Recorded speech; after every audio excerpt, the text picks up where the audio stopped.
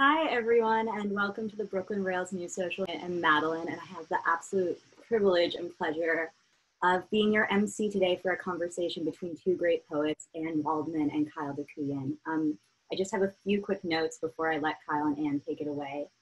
Uh, we will be recording this meeting for the Rail Archive, so if you would prefer not to be seen, you can disable your camera by pressing the stop video button in the bottom left corner of your screen. Also, uh, please feel free to eat your lunch during this event. We know it's that time of day for many people, um, and no worries about interfering with lunch sounds. We're going to keep the audience on mute until question time, which I'll kick off towards the end of the conversation. Uh, if you do have questions while Kyle and Anne are speaking, please write them in the chat bar to your right, um, and then I'll get to you at around 145. If you also want to take a moment to introduce yourself and where you're tuning in from in the chat, that would be fantastic. Uh, the Rail team will be helping out with tech if you have any questions, so feel free to message anyone with a sort of Brooklyn Rail tag under their name. Um, and closed captions are available. You can turn them on at the bottom of your screen. Uh, special thanks to Virtual Label for sponsoring today's talk. Uh, and now to introduce today's host, Kyle. Uh, Kyle is the executive director of the much beloved Poetry Project, um, a place I know many of us who are tuning in today hold dearly. He's also a poet, translator, and performer. His writing can be found very widely, uh, but most recently in Ambit, The Offing, and Social Text. And he's also had recent performance pieces at Fringe Arts and Ars Nova. Uh, Kyle, I'll let you take it away to introduce Anne. Thank you. I'm so happy to be sharing time with everyone today and to see so many friends in Zoom and to be talking with Anne, whose birthday it was this past month. Um, Anne Waldman's work spans poetry, performance, teaching, editing, curation, activism, spiritual, feminist, ecological, and infrastructural practice. Um, she's connected to the lineages of Whitman and Ginsberg, the Beats, the New York School, and Black Mountain, and reaches into further uncharted territories through her combination of documentation, inquiry, myth, and incantation. Anne is the author of more than 40 books, including most recently Sanctuary, published with Spuyten Duyvil Press, as well as Trickster Feminism, released in 2018 with Penguin, and the three books which comprise her monumental anti-war feminist epic, the Iovis Trilogy. She is a founder of both the Poetry Project at St. Mark's and the Jack Kerouac School of Disembodied Poetics at Naropa, where she continues to serve as artistic director this past month in collaboration with a number of musicians and other co-conspirators, Laurie Anderson, William Parker, Ambrose Bye, and Devin Brahja Waldman among them, and released an album, Sciamachy. And I thought we could begin this conversation uh, by talking about that. Anne and I are going to touch on a few words that feel, for me, like they've been somewhere in the compass of her work. And so I'd like to invite her now to share a poem that's a part of this album, Sciamachy, and then to speak briefly about that word and how it's bearing upon this newest work for her. So welcome, Anne. Thank you so much. And I'm so happy to be here with you in conversation with the rail and happy to see the folks out there. So happy you can join us. So I'll just read a little bit from the opening uh, song, I don't know what to, poem, which has extraordinary uh, music. And um, the overall title and concept is Sciamachy, which is the uh, battle with the shadows. We'll talk about that. But this first piece is called Extinction Aria, as in the sixth extinction or the prophecy, Mayan prophecy, or the Buddhist sense of the wheel of time and life. And I'll, I'll just, um, I'm very sorry not to have all the musicians in the space here. Extinction aria, oh human, the contour of you is innocence, but because you make up things, you are dangerous, ever in incantation. Your aggregate, porous, ahistorical, don't get it, don't get it, ridding the world of all but you. Humble objects, where are they? Everywhere in the landscape. You notice? Go be looking. That tree, which is an ash, sit down under the walking trees and want to have legs in ink and want to be my own portrait, a full portrait. Ink will tell it all. Light and shade, nuance of the hymn, a bee in the eye, in the ear of the human, the starling in the beak of the human. How talk to the wind and come to God. If the warmonger is inventing a battle cry, he, always he, is ready to go, and he thinks, I am a god. I am a god. I am a god. You will know this by an easy slogan. Words will be cheap. I am a god. It's words that are signaling assemblages that have power. If a warmonger is insisting in surprising himself, he's then turning to the mirror of himself to worship himself, and then turning if he seems to trace an enemy. He needs to do this. He will. It is what he is doing, an imprint for the cycle, for the habit. This is the apparatus of becoming. Enemy is the creation of a warring God realm. And that's just part of it, but gives a flavor. Thank you. So that's, you know, taking on the warring God realm, which is one of the realms in the, you know, sort of Buddhist image of the wheel of life and the, the warring god realm always has to create an enemy because it gives you all this juice to exist. And so uh, that's what we wanted to touch on in this opening piece, which gets very, there are other voices coming in, and uh, so on. How has, um, how has thinking about warring gods opened up um, reflection that you're doing in this album around the present moment more broadly? What's in the what's in the terrain of gods at war that you're thinking about right now? Well, there's so much, so much uh, layering. I mean, it's what we've been experiencing the last, say, four years. It's what we've been experiencing with uh, protests at Rocky Flats, not far away from here, where I stay in Boulder it's uh, layers of you know accretions of karma our whole relationship to um, you know our own culpability in all this the own you know how are we being human how are we now? You know we're we're distanced and so on. And we've been dangerous to other animals. We've been dangerous to our own planet as humans. And we've been cruel. And so in a way i'm, I'm not talking about a you know a uh, theistic punishment, but it's interesting that we're in this situation where we can't touch and we've been so uh, violent and aggressive. So that's interesting to me because in a way the, bat, the battle with the shadow is a battle with your own mind, with your own consciousness, with your own projections. And we're in that all the time. And here we are in this space, this aporia of uncertainty, of negative capability. We have to sit with the contradictions daily because it's shifting. It's very slippery, and this is a very slippery enemy, if you want to call the virus an enemy. Um, and it's uh, you know it's messing with our our our, our minds, our psychology, and then there are literal enemies. you know, people who are uh, genocidal, who are willing to let other people go. We're let, we're we're so exposed in terms of the whole capitalist scene in terms of the greed and cruelty and the way um, everything has been handled, the ignorance, the uh, intentional ignorance sometimes, this flip flop, and not having any wise, any wisdom really ruling at the time, so called time. And, you know, I keep wondering where are the, you know, the people who can really speak to this in a uh, historical way, in a spiritual way, in a scientific way, et cetera. And I've been investigating some of the other plagues, and it's not so different. You know, you think of the Roman Empire and things really shifting historically. Uh, Christianity came into the picture sort of as a result of the of the plague in that period, and that went on for quite a while.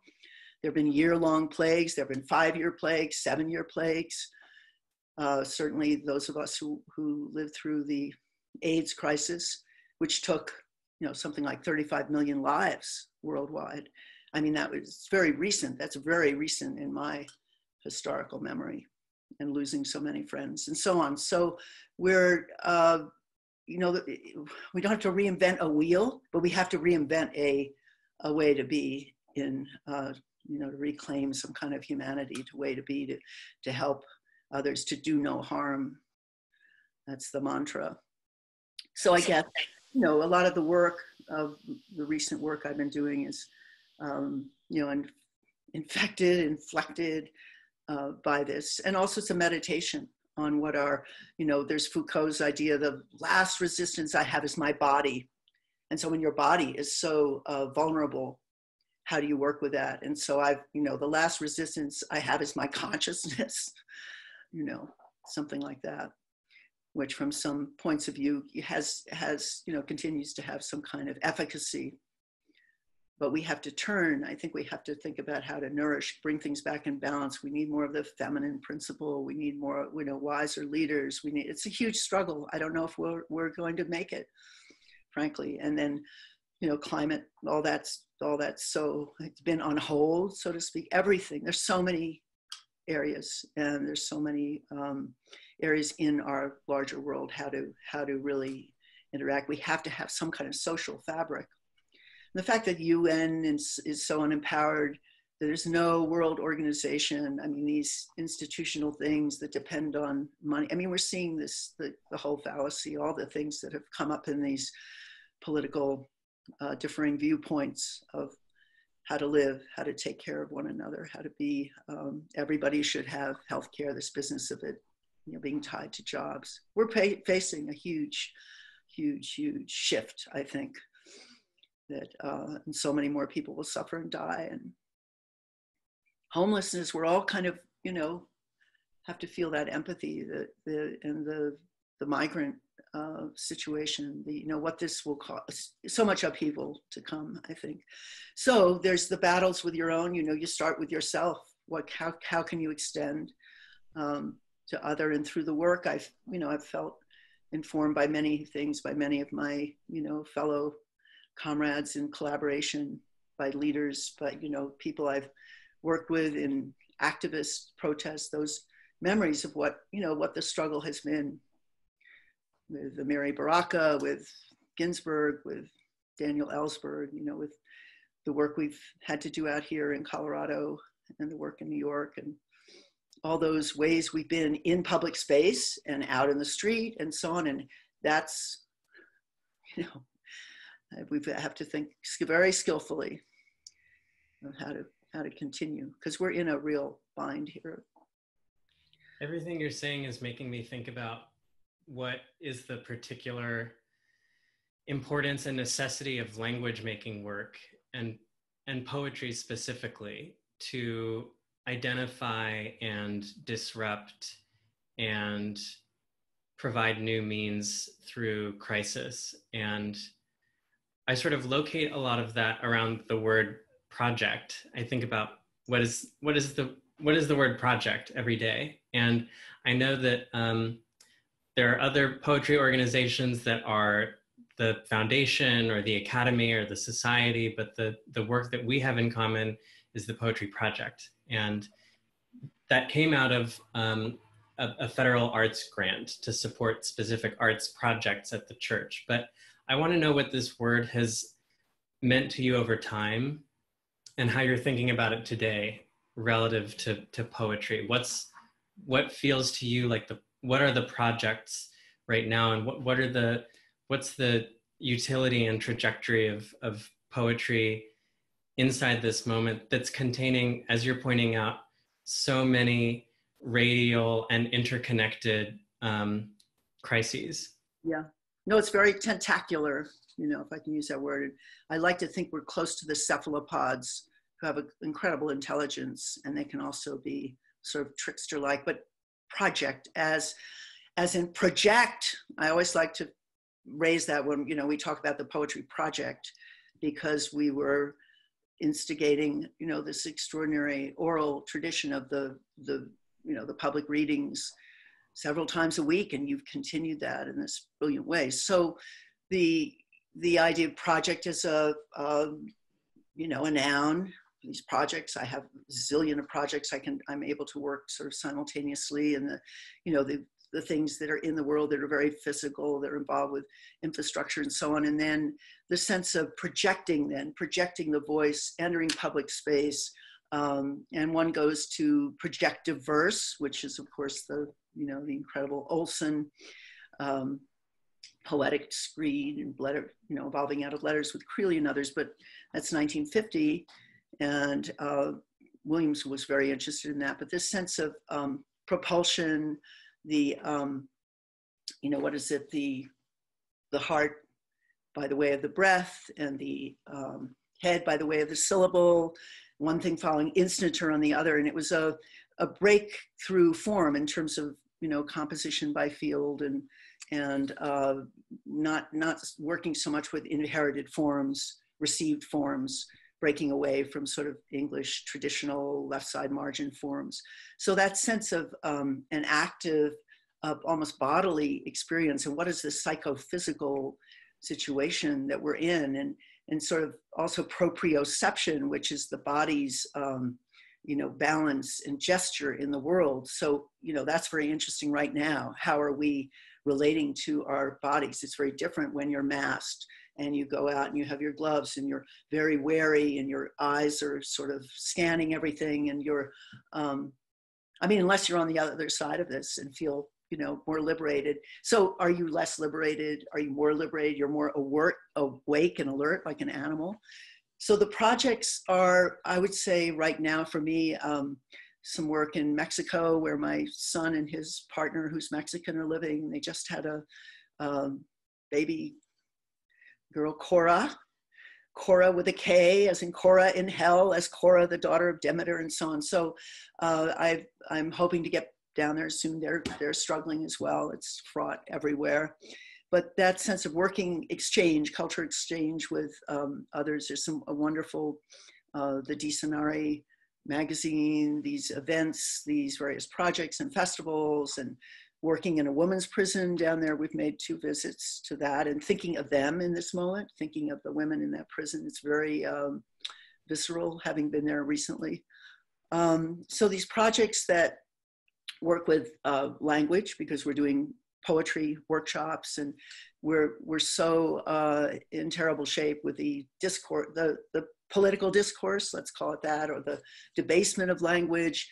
How do we talk about this trauma that we're in these last years? How do we talk about some, uh, you know, the leadership that degrades language? So poetry has to work in this other kind of magic. It has to be in touch with, you know, imagination, with um, combination and recombination. And we can't just be repeating the same sort of uh, iterations or the same tropes and so on. And and our you know our own advancement in terms of gender identity uh, breakthroughs you know with uh, racial politics. I mean that's been one of the hardest things is the white supremacy that's running this show here in our um, uh, country it's i mean i'm going to start crying about, about how intense that is and that, that so many things that have not been uh, addressed and healed and, and brought to you know justice and so anyway dealing with that the layers of that the language around that that we could be in a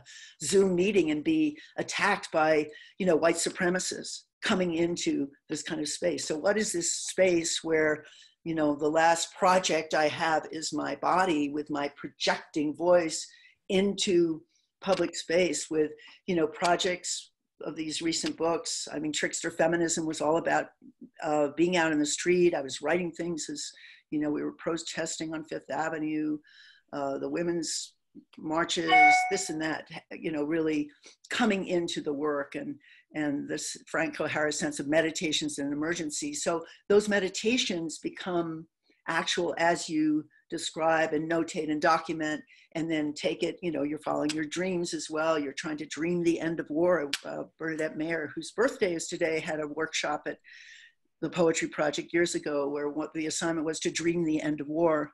So those kinds of things that poets can do uh, even in this more distant situations i think. I mean i'm constantly engaged with other um, writers across these divides and hoping there's a skillful means through through the technology that actually can have us meet mind to mind and have us uh, engage to create you know structures alliances spaces it's so important still to hold physical space for things we don't know where things are headed, but we can't cede control of everything so that it's, you know, we have no ground.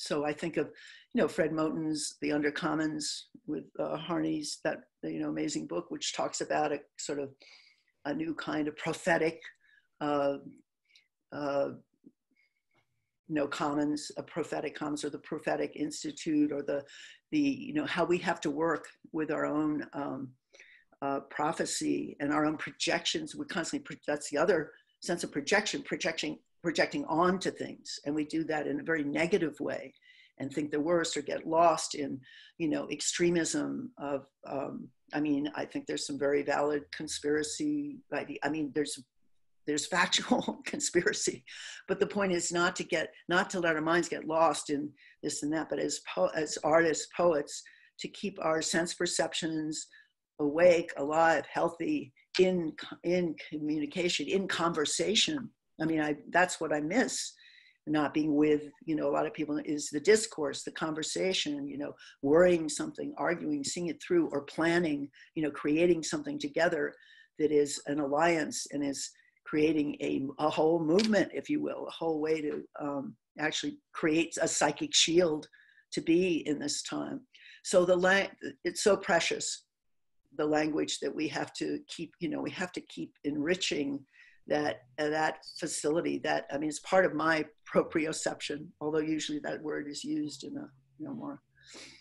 Learn the animal languages, and that's so important that the these languages of in our world and culture survive. So many things are going down, as we know, evaporating and have to be held at the same time that you've always been really attuned to the formal and spatial vision inside of a poem and text that it, it strikes me that that's always been parallel as well to your work imagining social fabric and person to person infrastructure and different kinds of community formations at the project at naropa otherwise. And so i want to come to that these words rhizome and infrastructure, which I know are also very locative and important for you, and and ask, um, you know, in this moment where where where we're building we're building infrastructure through uncertainty uh, as we kind of go along. What are what are you what are you feeling um, optimistic and fearful and attentive to. The other day we were talking about, you know, the some of the the problems of um, this increasing reliance on screen to screen connection, and so I'm wondering what what do you think? Um, what is the work that poetry and poems can do to facilitate other sorts of social infrastructure and connection that are not screen based and surveilled and and telepathy. Yeah. telepathy. Telepathy, dream work, shared dream work. I mean, you know, there's certain cultures that have have similar dreams. They have a, you know, based on entheogens and so on. But I wanted to say uh, a vision I had on, um, you know, this is back in Berkeley, the Berkeley Poetry Conference, when I couldn't get across the bridge because I was on this um, lysergic acid experience, but a vision of everybody uh, this everybody you've ever known and you start with your family and your immediate you know relatives and so on and all that and what history you have and ancestors and everybody you know and then all you know all from all ages and times and so on. And then you're all sort of in this great vision together this kind of kingdom or whatever queendom and you're all kind of looking up and what you know what is it about? What are we here for? How do we connect? And that but there's always has to be your enemy over your shoulder. And that actually is uh, an early sort of buddhist practice when you're kind of entering tantric practice where you you visualize everybody you've ever known and the vision that everybody was once your own mother or father etc and you also have to take the enemy. So i guess there's some and so the enemy is something you have to really um, work with. And you have the, you know, the rhizome, which is a tuber system and which the, you know, great partnership of Deleuze-Guattari took into, you know, it's their book on um, schizophrenia and capitalism. a thousand plateaus, but they take that uh, and, and, move from the more uh, linear or the more, um, you know, vertical tree of life, you know, the roots growing that way. The rhizome is horizontal and you can enter at any time. That's the kind of magic of it. So it's very liberating. You don't have to come in at the very beginning and you don't have to be sort of uh, as a poet, you know, restricted in any way. There's no dominant uh, sort of goal or, or um, you could say the canon. You know, it really questions the canon and they look into that in terms of philosophy and critical work.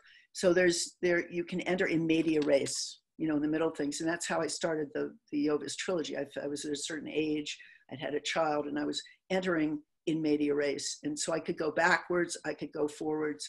And that's um, been liberating as a way to think about, you know, these these structures, how to, there's the book, you know, All Poets Welcome, which is about the Poetry Project, how you can come in at any point. It's good in the middle, it's good at the beginning, it's good at the end, it's, you know, anywhere along. So it's a different kind of trajectory. And it's also, again, not working with uh, received form. And so it's not, and, and the sense of the energy you know, this kind of intensity of the clusters in the middle is always excited me and the way you can come in. So that image of, um, which, you know, Quest challenges a lot of our, you know, preconceived idea of how one has to work and accomplish and moving always upward, some kind of ladder. It's a very different mode. I don't know if that gets to the question, but I think in the poetry itself, there's that idea of not knowing exactly where you're going. And um, there's the story of Ashbery always having to take a walk around the block before he even had a title, or he'd come back with a title. You know, just the kinds of uh, practices we have and rituals we have and ways of meandering, um, you know, me- meandering with the mind. And then the, the writing can be a, um, echo of that or a shadow of that and so on. Um, I guess the bigger, you know, the bigger way we can work together is being, I think, um, transparent in our you know it's not always this business of is it factual? Is it this? Is it that? But our, our documentation is very important. And our documentation is through our gaze in this body that is a, is a kind of project is a, a tentacular thing going on with all the sense perceptions with all the um, things that you know we're form poets are avid readers. We're always reading. We're always um, investigating our own, you know, relationship to text from back, way, way back and into the future. I mean, it's just that it, it's food, it's nourishment. So there's that, that's also added to all this, you know, a sense of the, of the continuum. And that's uh, very precious, especially as people go out of this world and pass. And that's been going on in my, with me, with my generation and, and younger now. Um, how, how we can hold in you know this kind of immortal memory the, through the work and then the work also grows and changes and and um, you know i've been looking at things that seem to be very prescient about where we are now because of the you know investigations of what is my body what is my gender what is my identity what is my um, you know where does this poetic so-called voice come from? Is it from the heart? Is it from the head? Is it from the ear? Is it from, you know, a, a, dream I had? I had a dream where my shoulder was opened and things would be poured into it. I thought maybe that's where it comes from. This was poured in at some interesting place. What was your actual question? That's, I mean, this is totally in response. I was just asking about how you're conceiving of rhizome and infrastructure. And I hadn't at all anticipated that you were going to respond temporally, thinking about rhizome as as um, as a, a temporal model for for experiencing some kind of out of time connection to both the future and the ancestral and the dead. And um, I'm I'm appreciative that you that you put it in those terms because I'm also thinking about the importance of, of epic in your work and the ambition of, of epic experiences of time through language. Mm-hmm. Um, maybe something that you said that I, I hadn't um, that I hadn't sort of outlined in advance of this conversation, but that is really occurring to me now is as you return to talking about the body and um, the self in relation is is how do these tentacular journeys through time shift your perspective of self in relation to mm-hmm. other and and poet self and and self and and community that you're situated within how how is that how's that shifting around well when i wrote i started uh, the trilogy the epic trilogy and epic as you know telling the story of your time of your tribe of your language of your culture of your history of the wars of the heroes and the and so on, the uh, the battles. Um, and I was writing it for my son, who was I think just a few you know five years old when it began, and thinking also of his generation to somehow talk about this time we were in that seems so um, you know exciting in terms of the, the, what I was experiencing, uh, you know, growing up in the village, the, the company I had, the amazing um, you know beauties of the work of artists and poets of my time and generation and and feeling so inspired by that that we you know we it was like this golden age also with all the horrible criminality and war and torture and genocide and the whole history of this our continent etc and trying to be attentive to that as well. But uh, something there were some victories in terms of you know that have not been uh, fully achieved around civil rights, around gender rights, women's, you know, et cetera, all the movements that one has been involved with. And so that that was uh, so encouraging and empowering, empowering. And when, you know, when Allen Ginsberg was dying, he was saying to me, we didn't do it, you know, we weren't, we didn't do enough. We haven't this and that. He was seeing ways that he got sidetracked and he didn't realize how deep the uh, enemy was. so, so the the idea of the epic is this thing over time. And you know coleridge talks about that you need 20 years you need 10 years to, to study all the mineralogy and the science and the language and the culture and the history and so on and, and where you are just in your own reality. And then there's five years for composition which seemed very fast to me. That seems a little speedy. And then five years for correction so anyway that was inspiring and then there's the you know, the wonderful Arnhem land realm of the uh, Australian Aborigines and their epics. If you look into their, you know, different cultures, then their epics are a lot of, you know, similarities. But they actually, it's a, it's a meandering where you're out in the landscape, and the the uh, epic becomes the the ground that you're on and your connection to, and you know every inch of that way. You know what grows here, where the little witchetty grubs are, and where the um, place where the watering hole is and so on. And you become, and it takes 40 years for your epic to evolve, for your, and you, and you, you train in that in, a way, in a way. So that in terms of a span of time, I wanted my epic to be a, a kind of container, a little time bomb.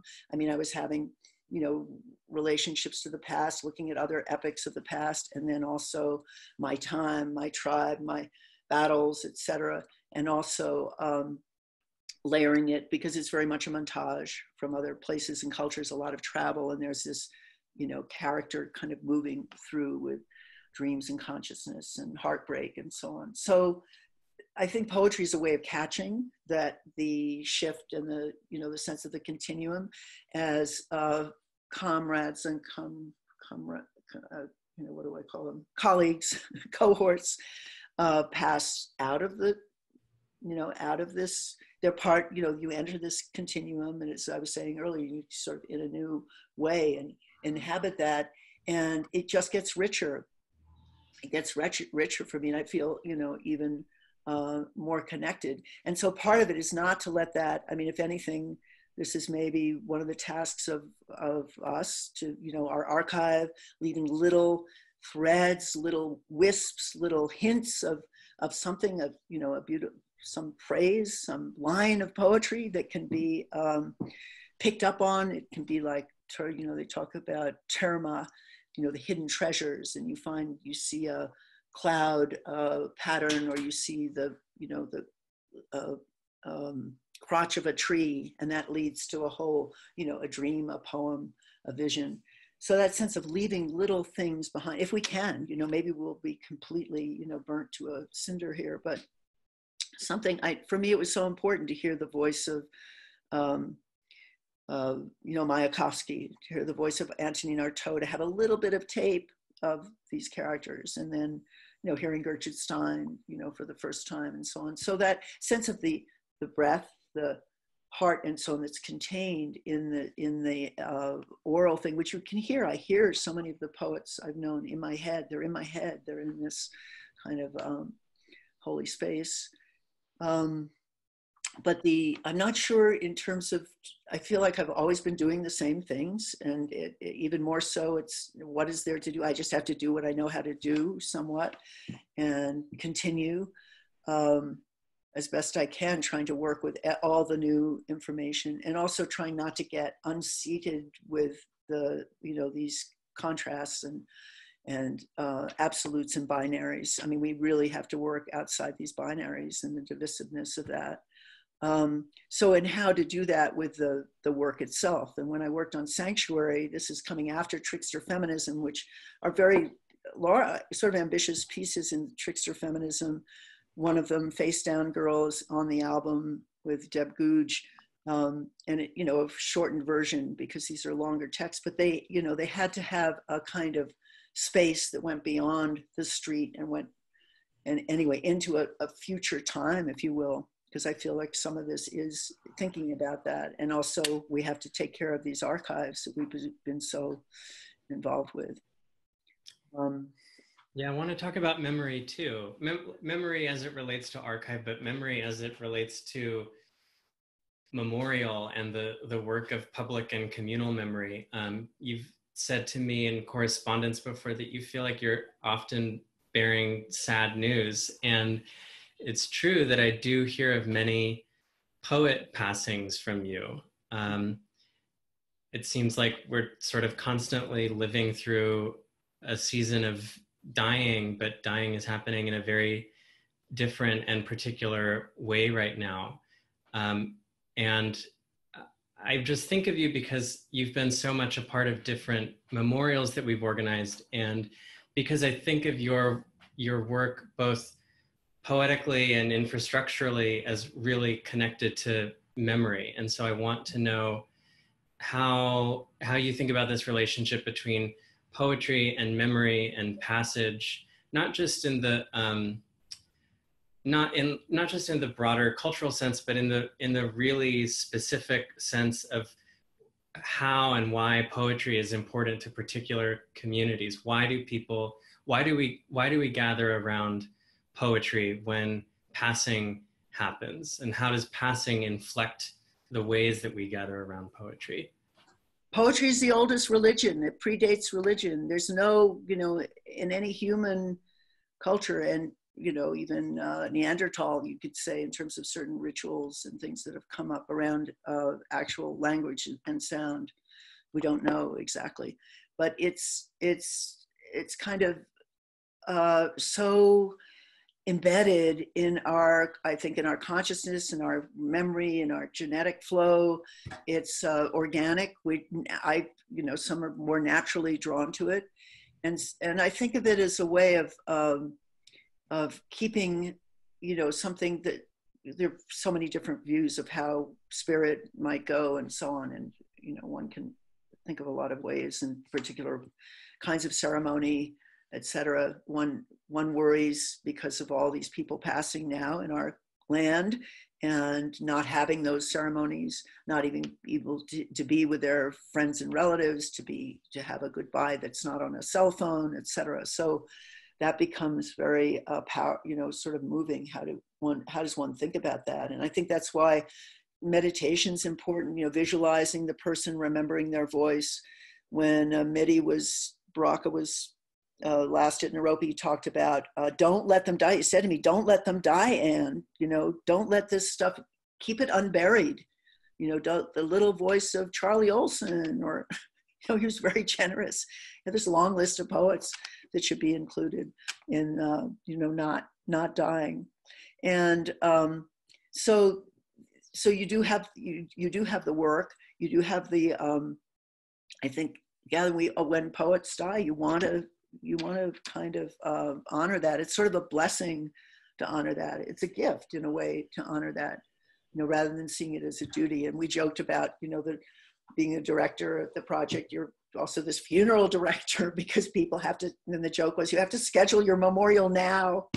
you know, I'm going to schedule my memorial now because, you know, it's stacking it. So trying to keep a, you know, a balance with without being you know morbid and and we have to mourn we have to collapse but the language of the the, the person who's passed is like so active in the in the uh, in, in one's uh, consciousness and ear and there's, there's a shock always of you know what it means and then you have this incredible memory um, uh, clark coolidge always goes to the basement and gets all the you know works of the person and just in, embeds himself in that for days. Um, one one does that. One immediately goes to the the poetry of the of that person. Yeah. And it was hard. I heard from Michael McClure's widow. She was she was um, you know alone with him, but he was surrounded by books and art and music, all these things he loved. So there was still these these um, you know archives, so to speak. But beyond that, beyond that. So I'm confident that this is a way we can com- communicate. It will evolve.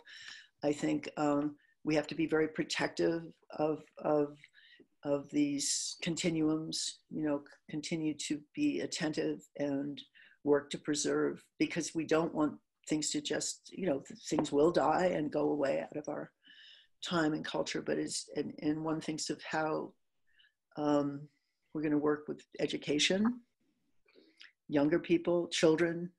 You know, I'm thinking about my granddaughter in Mexico City. Will probably will grow up there. Um, how can you know that the arts and all that we've been engaged with? How can that have a a role in her? What she would know. This has been a problem in our culture, not having these things, having these endless you know battles over cuts in programs. Um, arts, the music can go, the arts can go, the poetry can go. Not not realizing these are are uh, part of our part of our being. I believe so. You know, it takes different forms.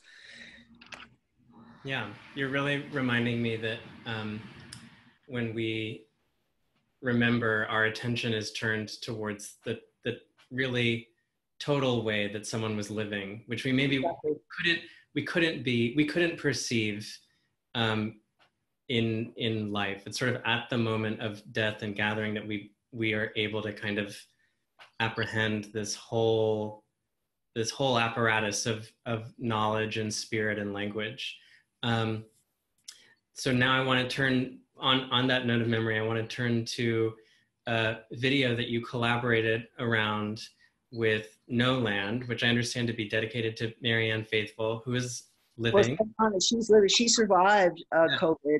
I haven't been in touch with her directly, but with some of her extended family, and and that was you know amazing. My last uh, connect, you know, sort of email with Hal Willner was around Marianne's situation. She was in London in a hospital, and then Hal himself, and it was like three days before he died, was quite sick with complications with COVID, and so that was a shock because uh, I hadn't realized how serious it was.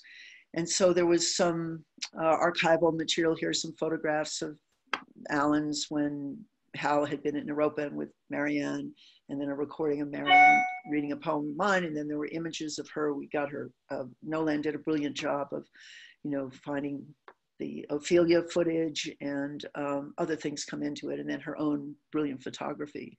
So it's about four minutes, and dedicated to Hal, who died on April 6th. And I see it extending to other friends who've passed since then. Um, just yeah. a kind of way that we could, you know, she and I could collaborate over this distance and create something that was trying to, you know, capture this some of the essence of these beings. Amazing. Uh, if we are ready to go, I will share my screen with the video right now. Does that sound good, guys? Yes. Great. Thank you. Yes, let me just wait. This is um, John Keats's negative capability, uncertainties, mysteries, doubts. Direct quote. It's not. Hmm. I don't know why it's not playing. Sorry, everyone. Um, Madeline, try clicking the X on that little pop up in the right corner of the upload live stream. I think it might be blocking you.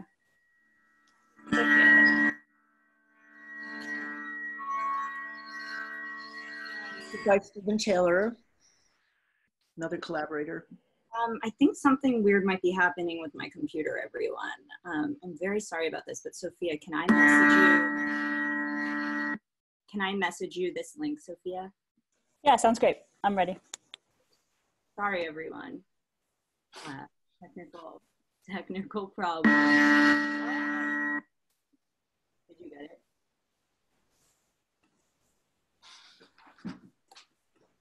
Here, I'm just gonna put it in the chat.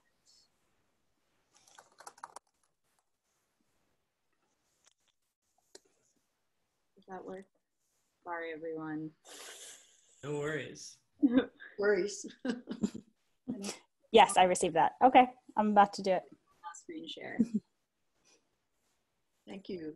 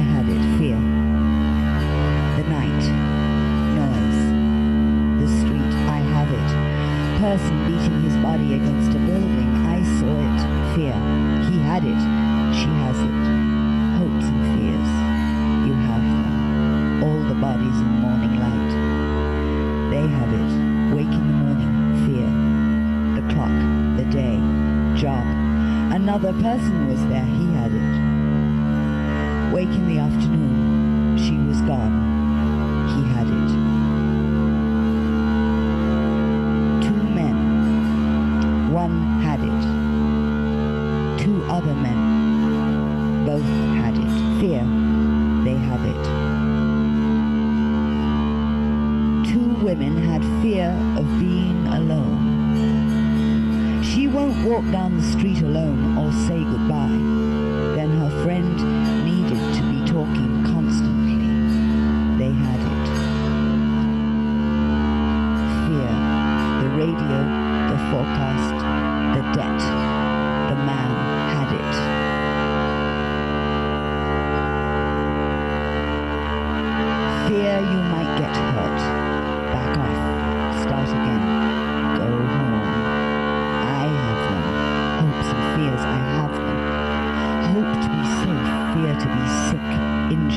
isolated. Hope to be in a well heated place, a place with light, another person in the room. I want to know her. I want you. Hopes and fears. I want you. I don't have you, but I have hope.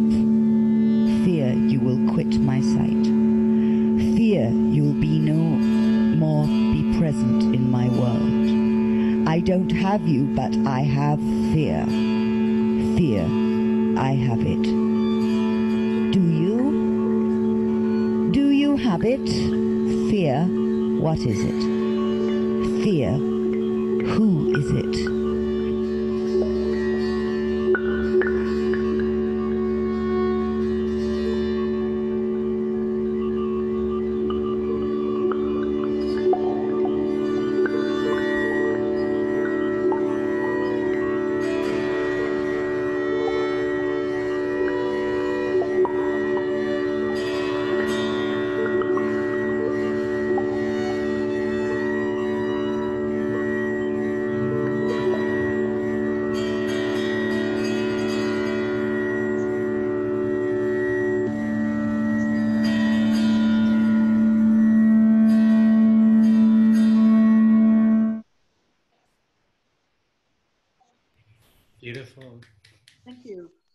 Thank you, Anne. Thank you. Nolan. The the film, like the album, and like so much of the work you do is just such a um, it's such a reminder of the ways that you braid together poetry and art making and friendship and um, you were saying earlier in the conversation that you feel like you continue to do the same things over and over again and i think it's because it's partly because your your manner of world building is just so so intuitive and so generous so, so Thank you. you Thank you. um, we have, I think, a few questions which um, Madeline has been helping to to gather. So Yes. in the last few minutes, we'll turn to those. Apologies again, everyone, for the technical difficulties, but that was so lovely uh, to see. And Sophia, thanks for jumping in there. Um, so our first question is from Tristan. And Tristan, I'm going to unmute you right now. Hey, can you hear me? Yeah. Hey, Anne. Good to see you. good to see Tuning you. in from Los Angeles. Lovely to see your home, which has so many fond shared memories uh, in Boulder. Um, my question, uh, I just, and actually, it's it's uh, nice that you uh, shared that film because I was wondering if you could expand upon sort of the concepts of hope and fear in light of uh, this pandemic time, and maybe uh, also another sort of uh, theme that you invoke often in summer writing program from Hakim Bey, the temporary autonomous zone in this kind of time of so-called social distance. Um, so hope and fear and temporary autonomous zone relevance to our moment. It's so good to see you, and I'm glad you're feeling better. Tristan's been through it. Thank you. And thank you for your beautiful work, your installations, and all the work with light and photography. It's so dear to my heart. Any case, uh, well, to the a temporary autonomous zone, which is what we're kind of in. Uh, it's not an institution. It can be, you know, last uh, a year, a week, as Naropa. Let's see, it's almost um, it's over 50 years with the Poetry Project. It's probably 47 with the Kerouac School so this idea of not having to build uh, an institution, a you know something that then becomes tired, worn, uh, uh, you know, dogmatic and locked and sort of you know stuck in its time, I think is really important. And we're we're in. I feel like I'm in many uh, temporary autonomous zones. We just don't know. You know, the uncertainty is is profound. But the um, the sense of hope and fear is like a hot and cold shower, just flicker. It's your mind, this, that, this, that. So it's trying to capture that mental state, which is like a kind of sciamachy We were talking about that earlier, in this shadow battle where you're, um, you know, completely sort of victimized and you can become paralyzed. And so you become paralyzed because you can't, and in a way it's sort of, Agamben talks about one, one, one text about the poet's job, the artist's job is to look into the, the, how you are contemporary with your time.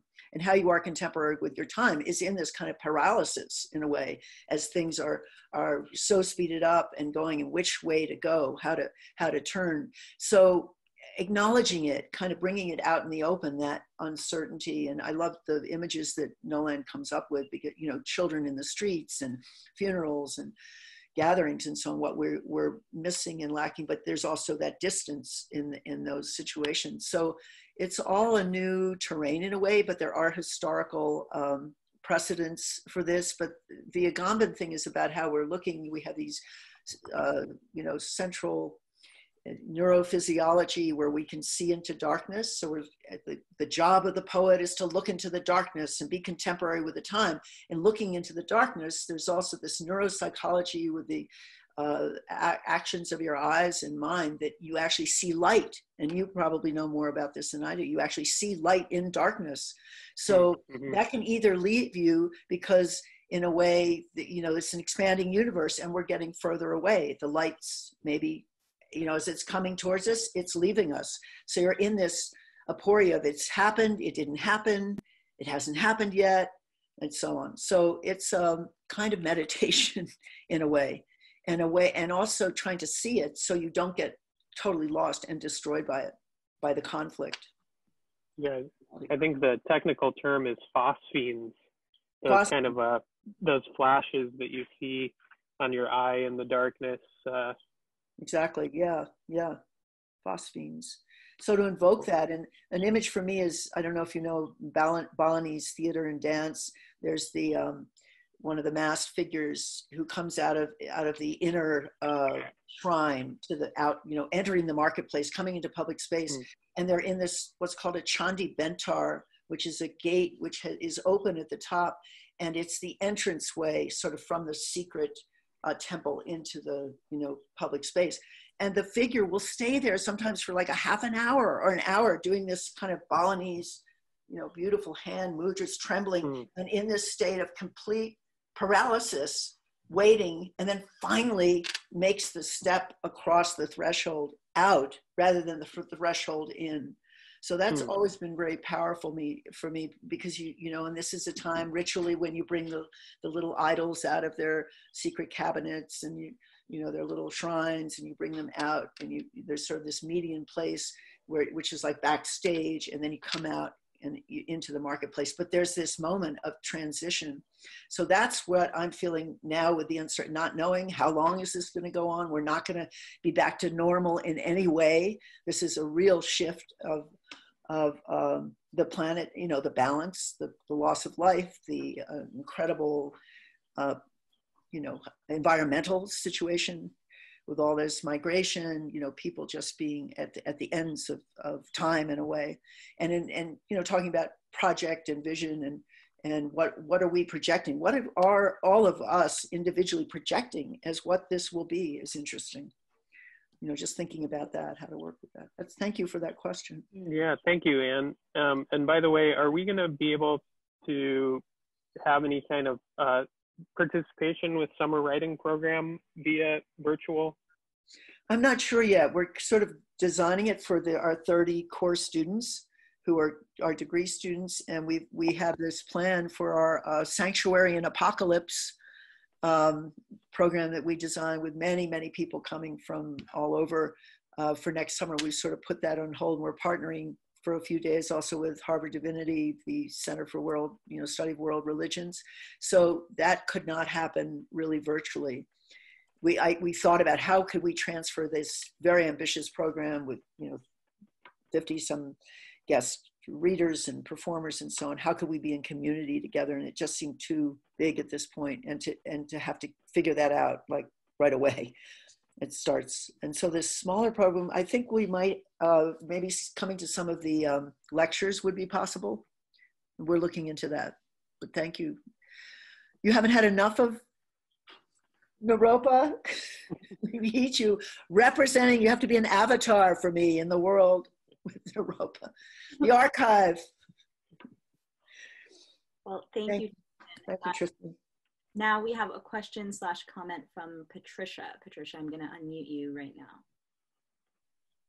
Hi, hi. Um, I'm uh, speaking from Brighton in uh. COVID times, and um, um, I'm uh, very um, interested in, interested in uh, the American uh, voice uh, in poetry, and um, I uh, had just recently been looking at some footage of uh, John Ashbery.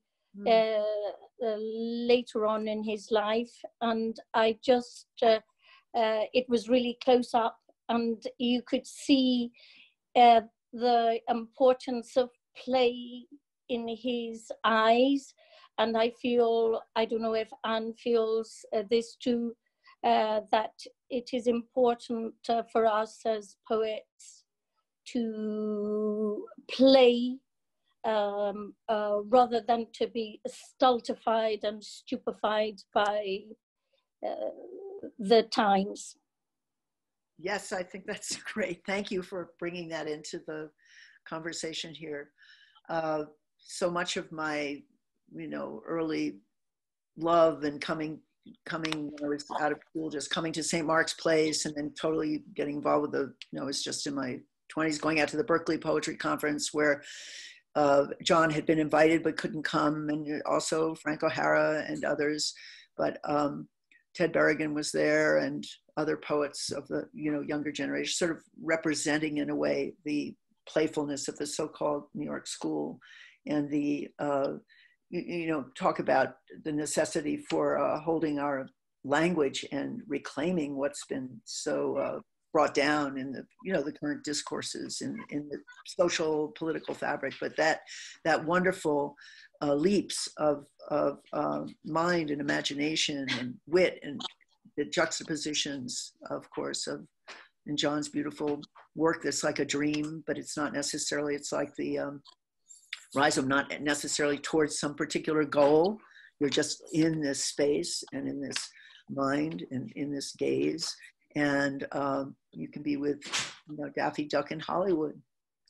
You can be um, you know in in particular kinds of um, forms. I, I always go back to the tennis court oath, that book of his, which you must know, which is so yes. uh, wonderfully inventive and just oh, it opened when I first read. Just opened up poetry in this enormous way for me and many others, and was so you know happy to know him and be able to honor him. And his, we get a lovely memorial at St. Mark's uh, Church that I, Eileen helped organize, and it, it, it brought people together in the morning. It was actually a morning service rather than a late afternoon. So there was this uh, wonderful power of the, of the light in the morning in that, in that ritual. Yes, I'm so glad you're, you're, you're a fan. There's so much work to read by him yeah but it's it's not so much him i'm i'm saying i'm saying that uh, we must remember uh, to to be playful uh, that um, uh, we mustn't get stuck because uh, this is such um, uh, like you're saying that it can lead to a paralysis and by leaping into play whether with language to see it as enabling us to turn uh, COVID on its head, to mm-hmm. turn Trump on his head, to tr- turn the times mm-hmm. um, significantly um, uh, um, into a contrary mode. Yeah. No, I, I agree with you. I, do you write yourself? Uh, yes, yes, I do. Yes, wonderful. Um, I think you know another thing was the with John was the um, you know sense of of uh, voyage, you know, voyage with him, not knowing, and there you know these kind of surrealist um, moments that con- constantly were jolting you out of any sense of of, of the relative world even, and um, he could look he could work with anything. I mean, his sources are always so interesting, you know, instruction manuals and things of yeah. the ordinary life. And I think also Joe Brainard, who um, we were recently cel- his birthday, and that that connection, their collaborations together, some of his uh, visual work with John John book of the Vermont Notebook. Maybe you know that. Huh. So yes, the the um, yeah power of that of the of the um, playful and kind of surface to not getting lost in mess and message we have to save poets also poetry and the legacy from mess and message. I think that was one of ted berrigan's lines you know part of his job he felt was to continue that you know with his cut up sonnets not get too lost in uh, sort of the official verse culture world of you know the title saying it all and having to come away with a, a message or meaning or this was the, the the point is the experience of the language and sound and all the poeas yeah viva Ashbery good Yeah. Thank you. job, Patricia and Anne. That was great to hear about. Um, next, we have a question from JC. JC, I am unmuting you now. Or unmute yourself. Yeah, I'm here. Hey, Anne. Hey, Kyle. Thank you so much for this conversation. Um, and Anne, thank you, thank you for your time. It's sort of uh, an impossible task to talk about everything you do in, in such a short hour. But I, I, want, uh, I wondered, if, 11 o'clock in the morning in colorado well, then we have all day, don't we? Um, I was wondering if you could talk a bit about your activism on the border um, and kind of what you get up to down there and whether it affects your poetry or just what, what it means to you. Well, last summer I took a trip when all the you know the horrors of the ICE uh, detention centers and the um, separating children from their parents. I mean, it seemed that was one of the most um, you know egregious things going. I mean, he, it just continues to get worse as we know, and they're actually as we conduct these you know conduct our lives these uh, raids are continuing to go on you know rounding up people. But that uh, that was really wonderful to be able to go down to El Paso, and you know we went to Clint, which was sort of in lockdown. Some of these uh, Congress people had been there uh, before that. Um, there was also earlier the uh, Aurora Detention Center in Colorado, where some of us visited, and I write about that in this book, Sanctuary. And my uh, daughter-in-law was uh, taking photos from that, where we, you know, she's Mexican, and we put up a Mexican flag was raised, and um, I had no idea. This is very close to where the Kerouac School is, where Rocky Flats is continues to be because there's still plutonium in the ground. But in any case, a thousand people are in there: children, men, women, children, and and so on. So that was a, a sort of wake up call. It was really good to see the activism on the ground. We were guests at the um, Tongo Martin was down there. Um, we were guests of the agricultural workers site, which is right on the border Mexico and El Paso. And so many, there were many speakers, and then there were poets from uh, all around. We had a, an all day trip getting there. We uh, sort of went through where Cheyenne Mountain is, where NORAD lives, you know, you know, meditating on the industrial military complex, on the role of NORAD in our, you know, uh, capitalist scene surveillance mode. You know that place, right? Cheyenne Mountain with the underground floors. This is the, the most powerful sort of military. This is wh- when the time comes, you know, the button has to be pushed. They're the first, first to go, first to be uh, responding to any kind of nuclear thing. Very- And they were, of course, on alert during 9/11. Any case, a lot of history there. You can check it out. So it was a journey through. Um, I was thinking of Ed Dorn's poem. Um, you know his epic poem that takes you into um, you know these parts of truth and consequences. Uh, I was thinking of the Kochs in Wichita because they're characters in this kind of parable of Dorn's.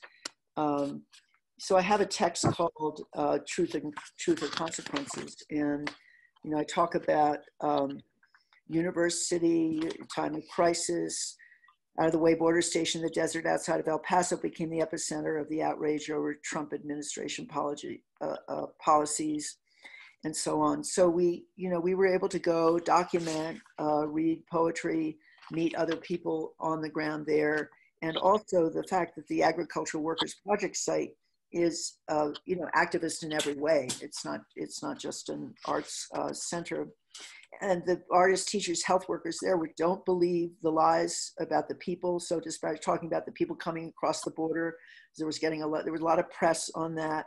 The idea of invasion, you know, these people are not, thousands of people are not coming in and please tell the world.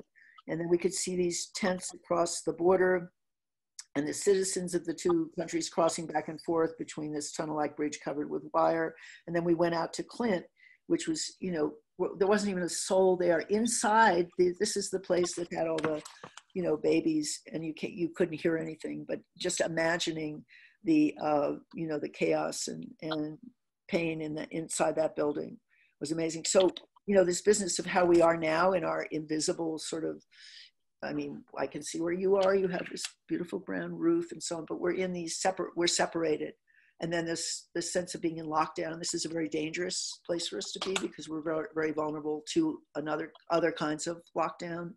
Um, and that concerns me. And then the, yeah, so the border work is so important. And when Trump got in and his whole thing with Mexico, and I was spending more time there, I'd, I'd been there in the 60s and through, you know, many decades trying to get there when I could. But um, I took this vow. I said and I was interviewed. I think the day I got to one of these at the Casa del Lago festivals. You know, what are you doing here? And so on. I'm said I'm taking a vow. This is going to be a set. You know, my activism is to get below the border and defy this kind of Trump fatwa on the border. So that's continuing, and I'm trying as soon as things can lift a little.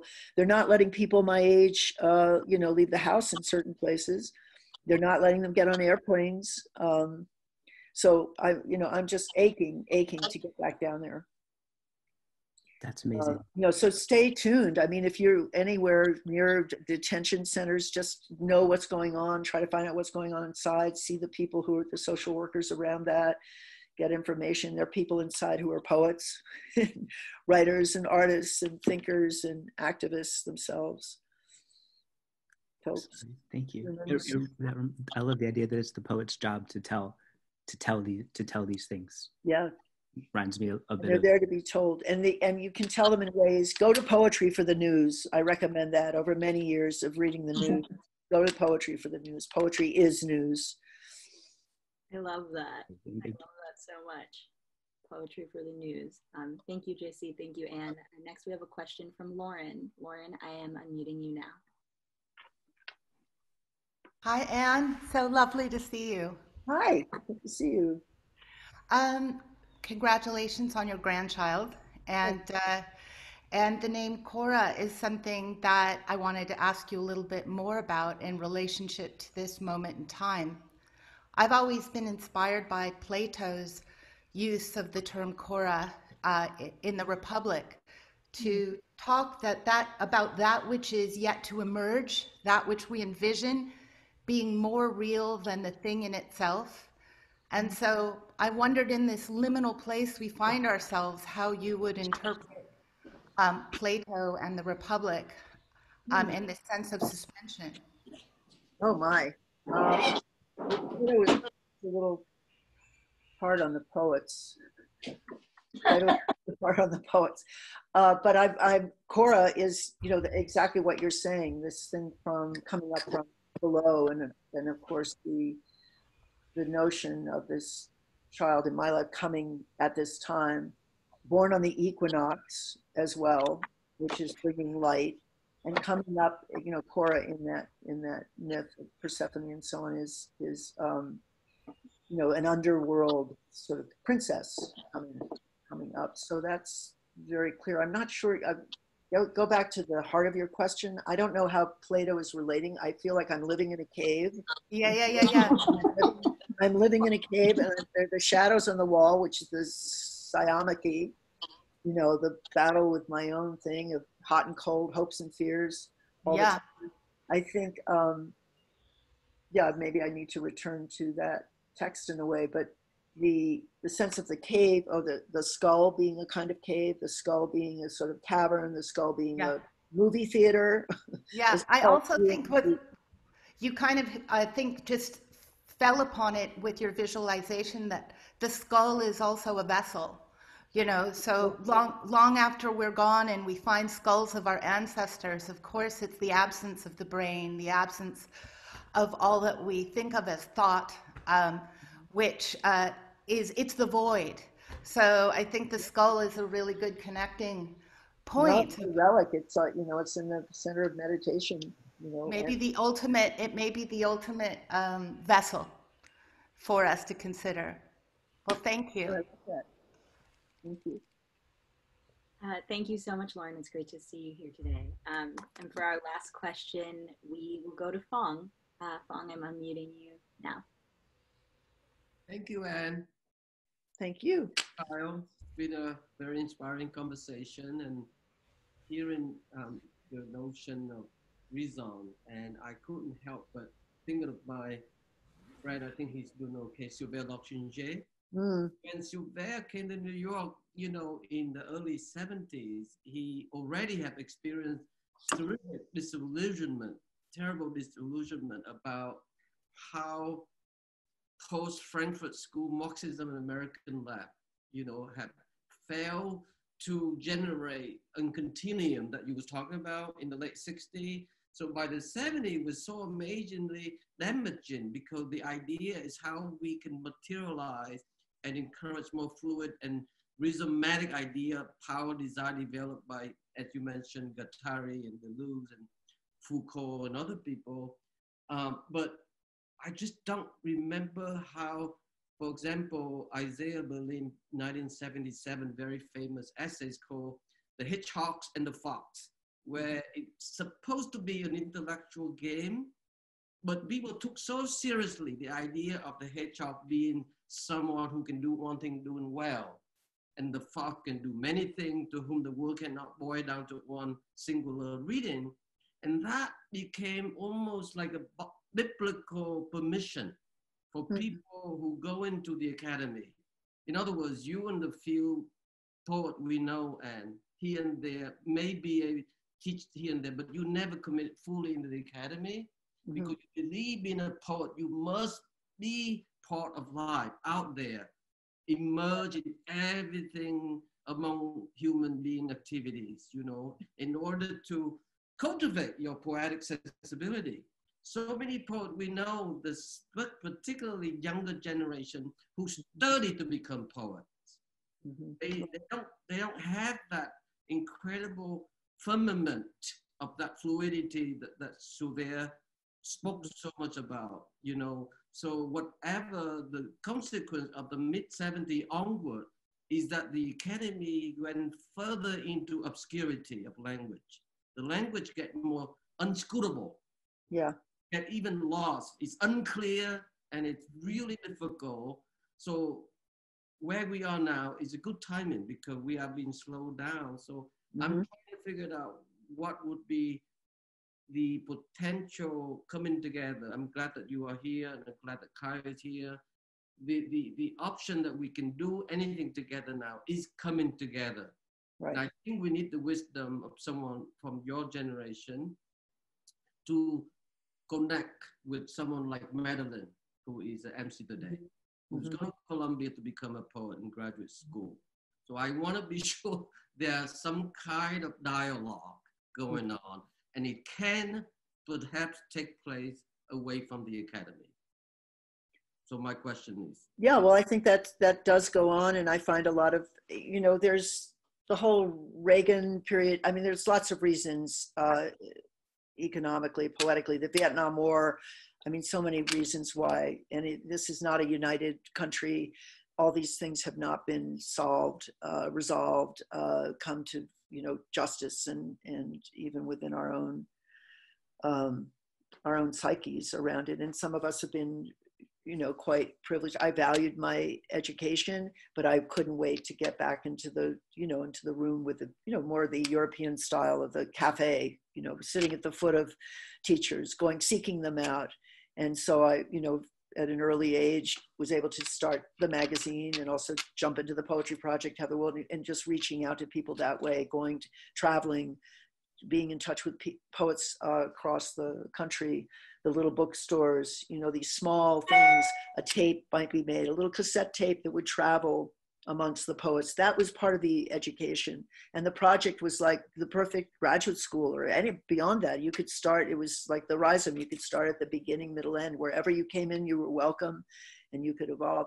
I think the problem now is a career as a poet. I don't know that that is that going to be easy in these next times? What will that i mean i think the learning the conversation in a way academies have been havens because you have this borrowed time you know this time where you're if you have a you know a scholarship etc and things are covered in graduate school and you have the conversation and it leads to uh, you know publishing and so on there's a kind of track with that. That did not exist when i was coming of age as a poet. And I wasn't drawn to that. I mean, one of my teachers wanted me to do what Woodrow Wilson thing or try for this or mm-hmm. this might be a move, but I couldn't, I had to be, uh, you know, in the streets of New York. Um, and also interacting with the other kinds of artists, the art and music scene world. That's what we also had in the 60s and 70s. We had this, and you could walk into, uh, you know, Alex Katz's loft. You could walk into Larry's, uh, uh, you know, just Jane Freilich go look at paintings, you, you know, studio visits. It was just part of your, your scene. You just wake up and you go to Gem Spa, which I've ha- just heard has closed. The Gem Spa closed. You know, that's such a talismanic place at the times where you'd get your egg cream and meet up with people. It was a meeting place just on that corner. So uh, all that kind of hybrid activity and social and falling in love and I mean everything. The loft parties um, it seems like yeah the golden age. I remember when uh, Abbie Hoffman had to go into hiding, and he came back, and then he came back with a plastic, you know, had done his he was he was uh, had been under arrest and and escaped and so on. But anyway, he showed up. It, it, may, it might have been a, a Jim Dine party or I can't remember who it was, but he was on the dance floor and I recognized his eyes. And then we started dancing.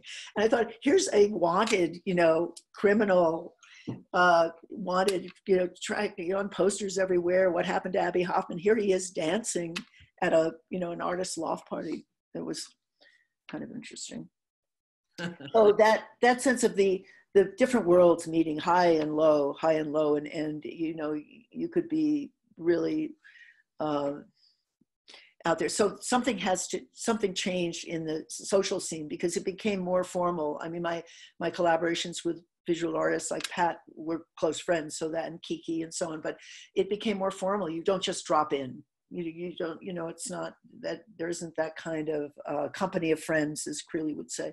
You know the company of friends and you just you could go out in the day and and uh, wend your way looking at the latest work going into joe Brainard's loft and doing a collaboration uh, etc so uh, why did that change? I think the economics of the art world or the you know kind of cat separate separate things. I mean it'd be a very interesting study for somebody to do.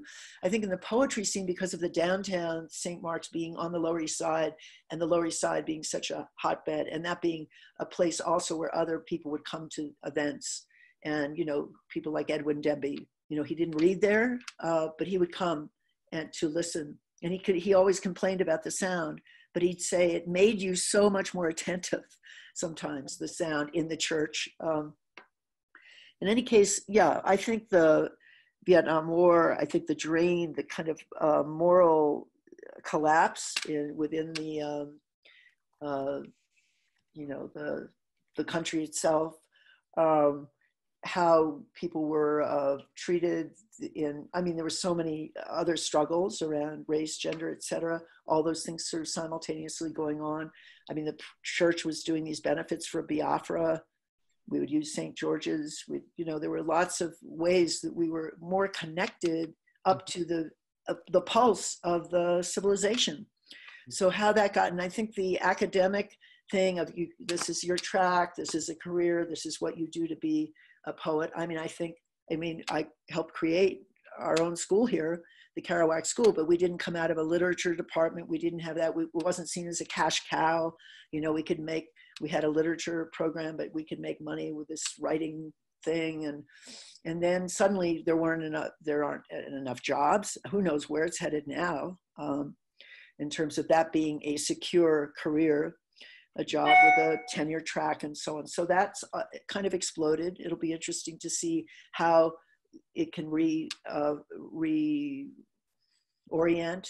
Um, I think the international thing is important, even though it's going to be harder to travel and people are not going to want to travel as much. But that's going to be an important part of, especially if we're coming to some kind of end of time um, or a new, you know, there could be a golden age, maybe a third of the planet is going to go. Uh, that's sort of some of the prophecies from these ancient wisdom traditions. Mm-hmm. Um, lots of, you know, death and suffering, uh, nuclear, could be nuclear holocaust, uh, the migrant situation, immigration, all that people have being homeless, homeless. Oh, we're all going to be sort of homeless in some in some way. I think. So um, I don't know what we can do. I think I think poets will seek out other ways of of being in the. But you have to remember the economics. My I grew up in the city, and then my apartment was a hundred dollars a month. Mm-hmm. You know, back Yeah. in the '60s. Um, I think it's going to take more alliances. I think it's going to take real commitment to say what I mean. It was a community project, and I think the poetry project still is. They're interns, they're volunteers. I, you know, to build that, to build that internationally more, I think will be important. I know Kyle has a lot of uh, extraordinary ideas about things to how to be in the world, uh, you know, as a citizen of poetry. Mm-hmm. So um, I don't sure that I, I understand um, Sylvère's, um, you know, disappointment. I feel it myself. I feel powerless a lot of the time. Um, I feel like that, you know, the body is does have its uh, limitations. Mhm. I want to be, and suddenly I'm thinking about ageism because you know you're over 70, and suddenly you're, you know, Alice Notley has to go out. You know, she has to have the papers to go out in Paris to to go do an errand. You have to prove, show who you are, um, have essential reasons to exist. And then, meanwhile, all these bodies piling up in the nursing homes are expendable, et cetera. So the value of life and what is it? What does this all mean? So if you're a poet, you've got to be thinking about this, and you've not. But but but also getting inside. Um, which you offer. You offer you know you share your mind your consciousness your ideas your visions you're tentacular you're connecting with all these power places. And that would be the other thing to connect with the power and the capital that's out there and try to bring another i don't think we can overturn the capitalist world but we've got to get healthcare you know and people have to pick their battles with that. And we have some, and we have a difficult time with this election. I mean, we, who knows if we can even vote? There's a whole list of all the different voting situations with all the, the different states. I mean, some places you need to get an application before you can do an absentee ballot. People don't even know that Yeah. in some situations. And you have to prove, you know, and have an ID. I mean, it's, it's, we are so, uh, we are in such emergency mode in terms of holding on to our uh, what we have in our humanity. And i but i think because poets are part of the rhizome they're more fluid they can slip they're more trickster like they can work with the shifting uh, mind points of view imagination language other languages uh, you know uh, rally in this way that's um, um, where what you know the it's interesting the mask of course how you're speaking through the mask speaking your poetry through a mask i think about that all the time.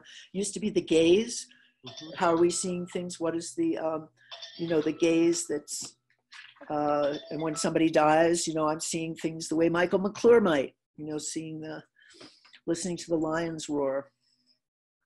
You know so that that's what it is i think that we have to be in touch with you know strip it all down the academies work with the academies if you can um, see what see little uh, uh, ways to help them.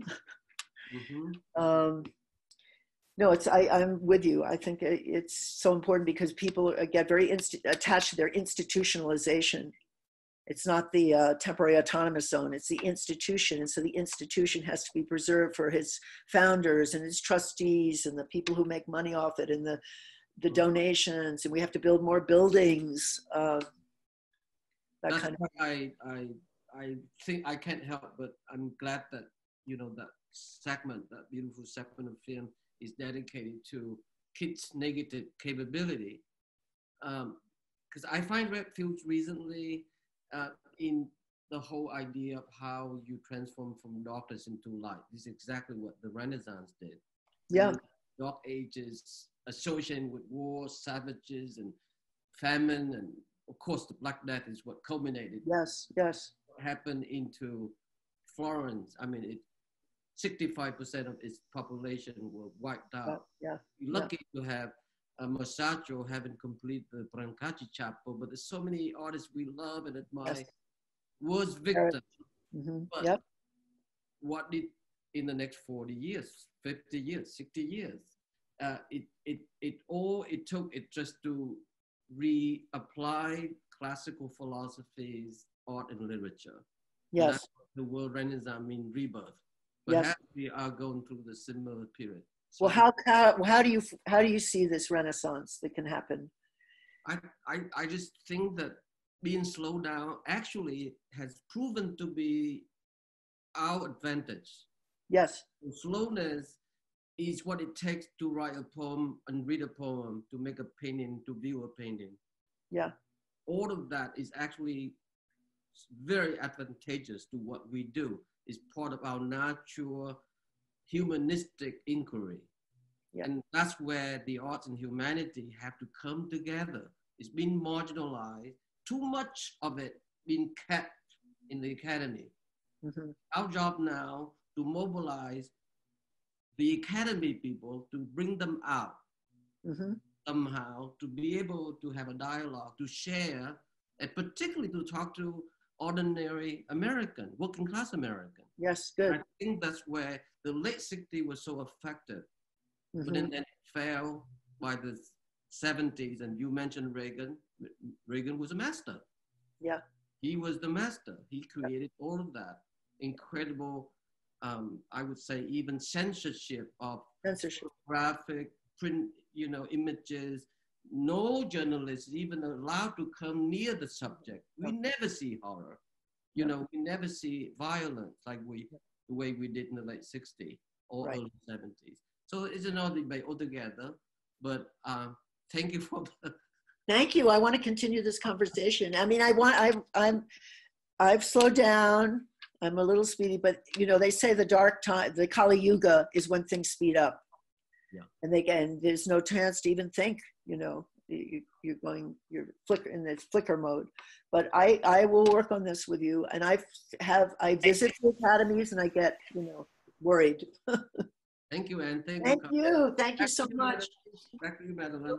So just before we, go, before we go to one final uh, poem from Anne, Anne, thank you so much. Um, I'm just so glad we recorded this because it feel like it became a, a very sort of necessary oral history. Um, so I'm glad we have this preserved.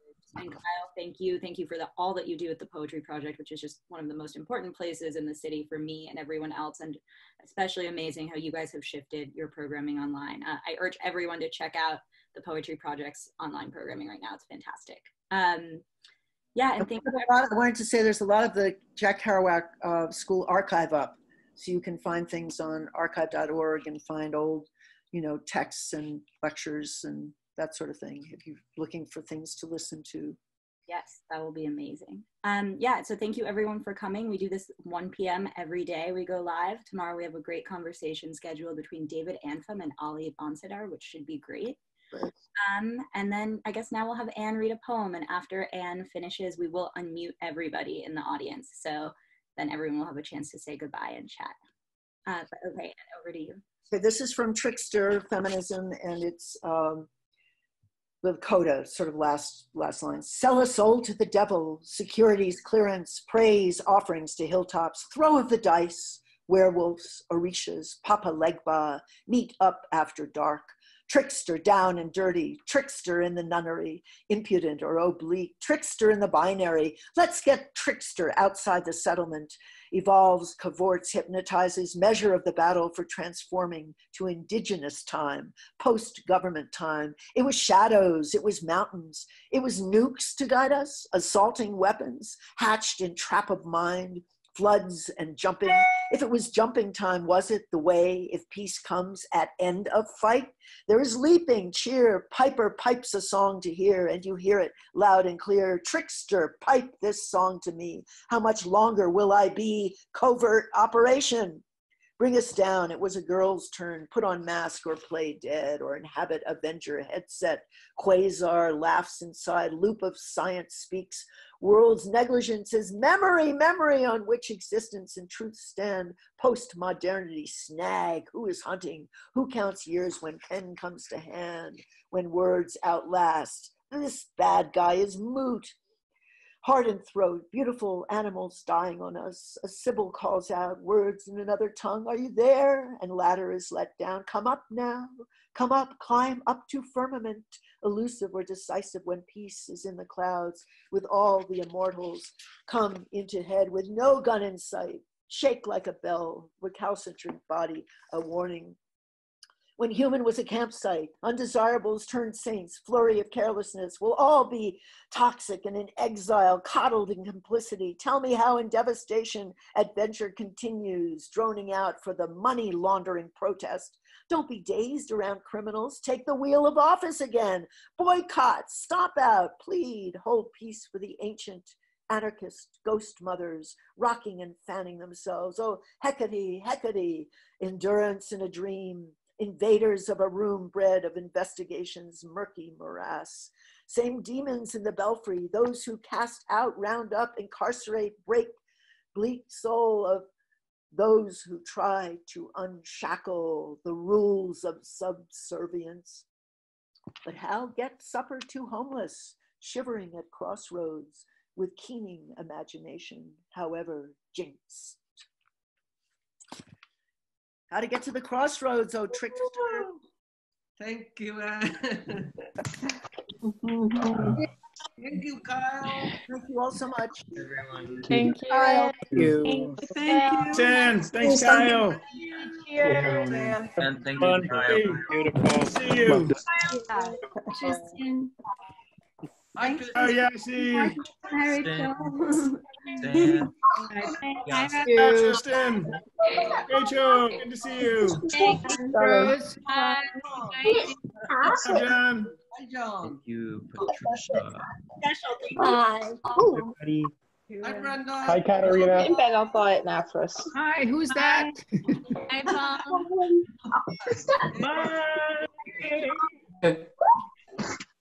Hi, Raymond. Oh, lay down, please. No more jumping. Thank you, Madeline. Thank you, Sophia.